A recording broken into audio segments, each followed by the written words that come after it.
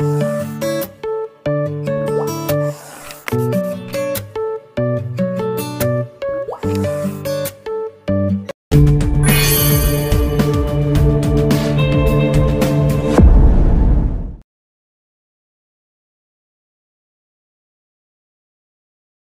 Reader के YouTube channel पर मैं डॉक्टर मिराज अंसारी आपका स्वागत करता हूँ। आज हम आपको अपडेट लेकर आए हैं होम्योपैथी से जुड़ी हुई एक बहुत ही बड़ी खबर है। राष्ट्रीय होम्योपैथी आयोग के द्वारा जो है अभी कुछ ही समय पहले जो है कि एक कमेंट और सजेशन के लिए एक नोटिस भी जारी किया गया जिसमें कहा गया था कि होम्योपैथी में कुछ नए बदलाव किए जाएँ होम्योपैथी कोर्सेज में, जैसे कि मॉडर्न मेडिसिन या मॉडर्न फार्मेकोलॉजी को शामिल किया जाए।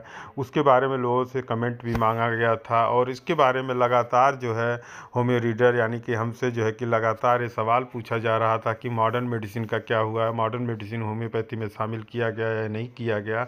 तो उसके बारे में आज हम आपको अपडेट देने वाले हैं कि मॉडर्न मेडिसिन को होम्योपैथी में शामिल करने के लिए पूरी तरह से विचार हो रहा है और हमें उम्मीद है कि जो नया सत्र है और उसमें जो है कि मॉडर्न मेडिसिन को शामिल किया जा सकता है। लेकिन अभी ऑफिशियल जो बयान है या ऑफिशियली तौर पर राष्ट्रीय होम्योपैथी आयोग ही इसके बारे में कोई भी जानकारी देगा। लेकिन जहाँ तक ऐसा माना जा रहा है, जो जॉब की फैकल्टी है या जॉब की सुविधा है, उसको ध्यान में रखते हुए एन इस पर विचार कर सकता है कि मॉडर्न फार्मेकोलॉजी को होम्योपैथी में का शामिल किया जाए।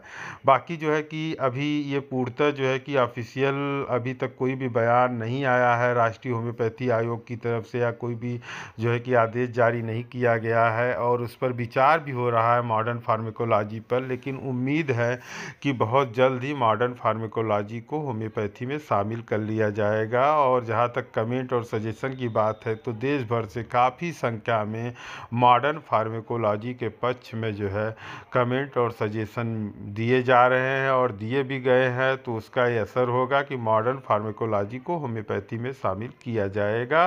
क्योंकि अगर मॉडर्न फार्मेकोलॉजी होम्योपैथी में शामिल कर लिया जाता है तो होम्योपैथी में रोज़गार के अवसर बहुत ज़्यादा संख्या में बढ़ जाएँगे। सी के जो पदों पर हज़ारों की संख्या में लाखों की संख्या में भर्ती होने वाली है, उसमें होम्योपैथी को की योग्यता भी तय करी जाएगी या होम्योपैथी को भी उसमें शामिल करने किया जा सकता है।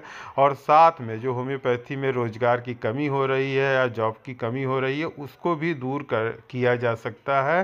तो ये उम्मीद है कि जो नया सत्र है, उसमें राष्ट्रीय होम्योपैथी आयोग द्वारा जो है मॉडर्न फार्मेकोलॉजी का कोर्स जो है शामिल किया जाएगा।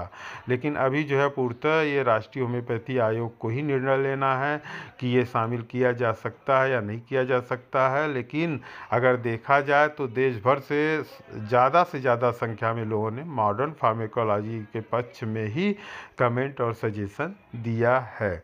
तो ये एक अपडेट है जो आप होम्यो होम्यो रीडर की तरफ़ से देख रहे हैं। आपको ये जानकारी कैसी लगी? हमें ज़रूर बताइए। और साथ में अगर आप हमारे होम्यो रीडर के यूट्यूब चैनल पर नए हैं तो होम्यो रीडर के यूट्यूब चैनल को लाइक शेयर और सब्सक्राइब करना न भूलिए, क्योंकि होम्यो रीडर ही एक ऐसा प्लेटफॉर्म है जो होम्योपैथी जगत से जुड़ी हुई खबरों से लगातार आपको रूबरू कराता रहा है और कराता रहेगा।